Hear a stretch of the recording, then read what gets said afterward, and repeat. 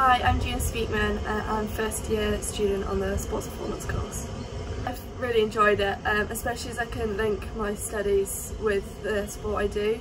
Um, it's quite a flexible course to be able to go out and compete um, and training camps as well as focusing on my studies and then linking it back to my sport.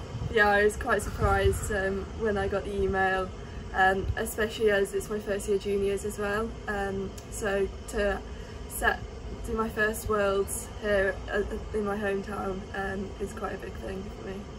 It's my first big competition, so definitely a lot of experience against the older athletes, so more experience and especially with Alex, my partner, um, who's been to previous World Cups, so hopefully I can get some information off her, um, which will hope, hopefully, hopefully help me in the future.